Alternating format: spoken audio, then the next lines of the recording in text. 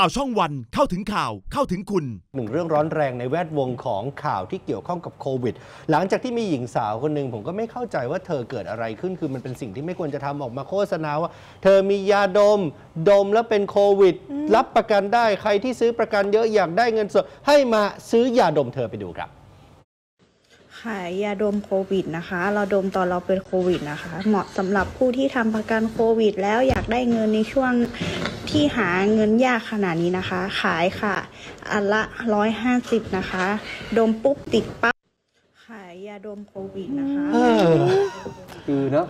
จิตใจคนน่ะเออ โอ้คือก็ไม่รู้ว่าเธอคิดอะไรของเธออยู่นะครับคุณผู้ชมครับ แต่แน่นอนครับ รถทัวร์มาประชุมกันชุมนุมกันโดยไม่ได้นัดหมายครับคุณผู้ชมครับก็มาแน่นเลยแหละครับ แล้วก็คนออกมาต่อว่ามาตำหนิว่ามันใช่เหรอ คือคุณอยากสร้างคอนเทนต์เหรอ คุณหิวแสงเหรอ แต่คอนเทนต์ที่คุณสร้างมันเป็นคอนเทนต์ขยะนะ ไม่ได้ให้คุณค่าอะไรกับคนดูและสังคมเลย แล้วพอตรวจสอบหญิงสาวรายเนี้ยถ้าเกิดคุณผู้ชมจำได้ตอนที่มีดราม่าโรงพยาบาลสนามที่เชียงใหม่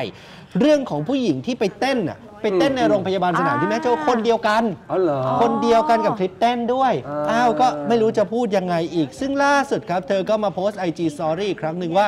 เอาทิ้งไปแล้ว ไม่ขอให้สัมภาษณ์ไม่ได้ขายแต่อย่างใดเหมือนกับ เพิ่งมารู้ตัวว่าสิ่งที่ตัวเองโพสต์ไปมันจะดราม่าแต่ว่าทางสำนักงานสาธารณสุขจังหวัดเชียงใหม่บอกว่าตอนนี้ทราบเรื่องแล้วนะครับอยู่ระหว่างการตรวจสอบเดี๋ยวจะไปตามหาตัวผู้หญิงคนเนี้ยผิดแน่ๆคืออะไรพรบคอมพิวเตอร์ แล้วถ้าเกิดว่าทำสำเร็จเนี่ยมีคนซื้อจริงติดจริง เข้าข่ายพรบควบคุมโรคด้วย ซึ่งถึงแม้ว่าผู้หญิงคนนี้จะเป็นผู้ป่วยในโรงพยาบาลสนามจังหวัดเชียงใหม่จริง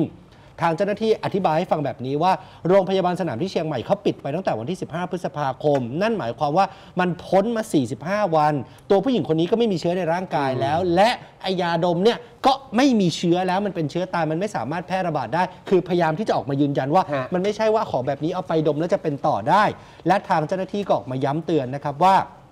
ประชาชนที่ทำประกันโควิด และทุกๆ คนขอให้งดเว้นการกระทำแบบนี้ เพราะถ้าติดเชื้อไปแล้ว คุณอาจจะไม่ได้ใช้เงินนะคุณตายก่อนได้นะเออเรื่องแบบนี้มันใช่ถึงแก่ชีวิตนะครับฮะเออโอ้ยคิดได้เนาะ คิดได้มีมีปสด555 โดยโอ้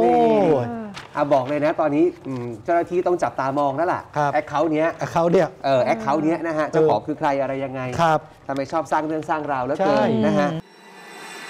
สวัสดีครับ ผมจัดทีมะ อย่าลืมกดไลค์ กดแชร์ กด subscribe YouTube ข่าวช่องวัน จะได้ไม่พลาดทันข่าวทันทุกเหตุการณ์ เปิดเผยทุกความจริง จากทีมข่าวช่องวัน เข้าถึงข่าว เข้าถึงคุณ